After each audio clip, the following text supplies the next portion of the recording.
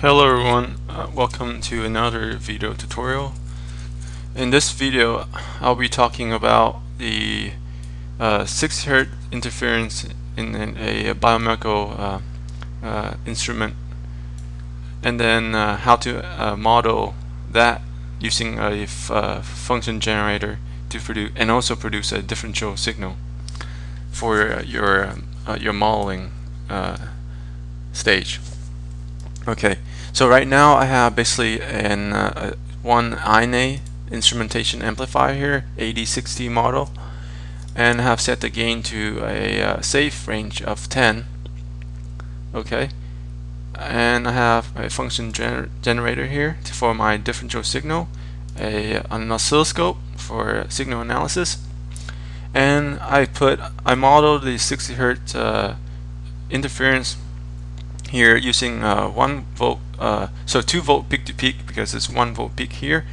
So I'll, I'll go to my common uh, common node of this uh, function generator and I have set the frequency, the uh, signal frequency to 250 hertz. This is around the ECG frequency. Uh, an amplitude of 10 millivolts, which is very high, um, higher than uh, what would uh, in reality uh, the signal would be. So, but for the purpose of just showing you guys, I've just used 10 millivolts here. And okay, uh, and then I have my offset setting, which is to uh, uh, um, simulate the the real life DC offset in real life from the electro electrolyte interface of the electrodes.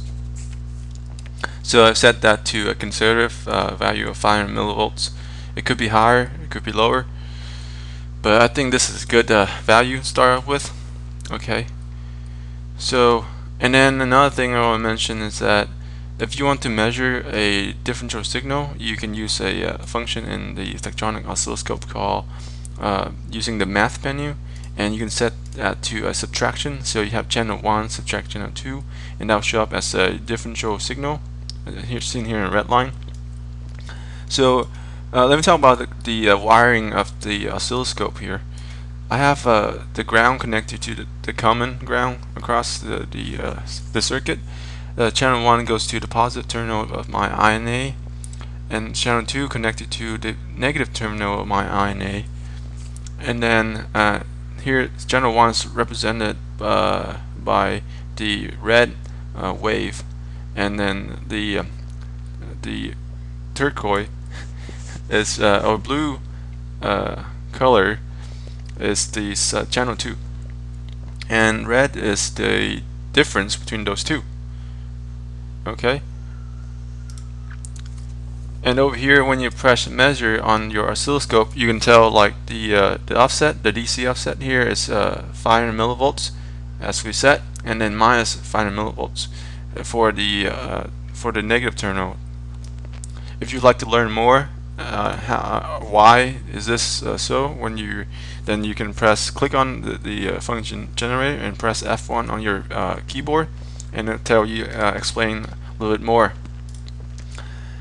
Okay, so the main the main thing I want to talk about in this video is that um, the DC component can really can ruin your uh, overall uh, amplifier design because if there's a substantial DC component such as 5 millivolts here which is pretty high and if you use a high gain here to uh, you assume that using a, a high higher gain in the initial stage using like 100 gain 100 here or even more to uh, trying to increase your SNR signal noise ratio uh, that may not actually work uh, in the real life because when you have a high DC component in, at your input, then if using a very large gain of 100, that will saturate your uh, output, and that's you have no chance of uh, uh, get, uh, you know process your uh, your target signal, which is much smaller uh, amplitude. Okay, so for for example, you see you have five millivolts here, and your gain is 100, and that will give you a, a 50 a 50 volts at the output that's way over the, uh, the, the, the rail voltage here which is 15 volts and minus 15 volts here. So what you want to do is using a lower gain, uh, a safe uh, range like 10 here, and then uh, after that you can use like a high pass filter to knock out the DC uh, offset, and then you can uh, implement a much higher gain at the subsequent stages. Alright, and this will be all for this video. Thanks for watching. Uh, see you next time.